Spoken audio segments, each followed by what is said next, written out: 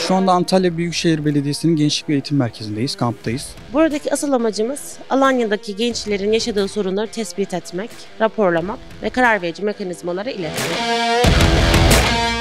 3 günlük bir etkinliğimiz var. Yaklaşık olarak 40 tane öğrencimiz var.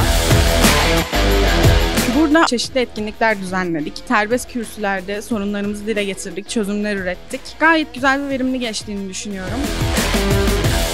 Çok seminerlere katıldık. Maksadımız Alanya'nın daha iyi bir yer olmasını sağlamak, gençler için bir cennet haline getirmek. Bu organizasyonun yapımında Antalya Büyükşehir Belediye Başkanı Muhittin Böce'ye teşekkür ediyoruz.